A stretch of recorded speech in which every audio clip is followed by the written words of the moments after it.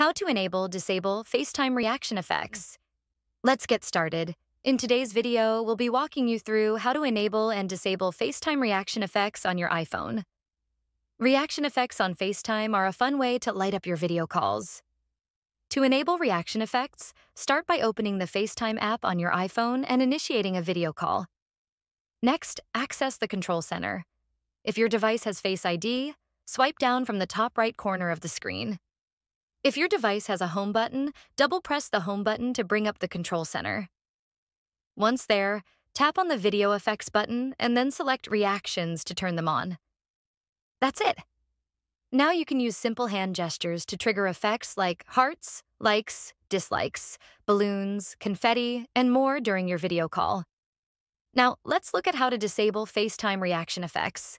It's important to note that turning them off will disable them for all video calls until you choose to re enable them. To do this, open the FaceTime app and start a video call. Again, bring up the Control Center, tap on the Video Effects button, and finally hit the Reactions option to turn them off. It's as simple as that. And there you have it.